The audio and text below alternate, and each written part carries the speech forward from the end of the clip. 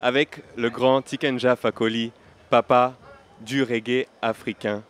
Euh, on est avec euh, À la Roots, une, émission de Roots Reggae euh, à l'UCAM, à l'université de l'UCAM. Et ça fait huit ans qu'on essaie de promotionner la, musique reggae, la culture rasta et l'Afrique en général. Donc c'est un grand honneur et ça veut dire tout pour moi de pouvoir te rencontrer, grand frère, aujourd'hui. vu qu'on n'a que 15 minutes, euh, j'ai quelques questions très précises qu'en fait euh, des frères et sœurs africains euh, et africaines m'ont dit, m'ont transmis, qu'ils voudraient te poser. mais d'abord, est-ce qu'on peut t'entendre après ce formidable concert, juste nous donner un peu la vibe, comment t'as kiffé?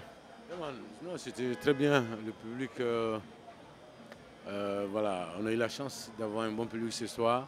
Le temps était avec nous, le public était chaud et puis bon, voilà, je pense qu'on a on, a fait un bon concert. Nous, on était contents en tout cas.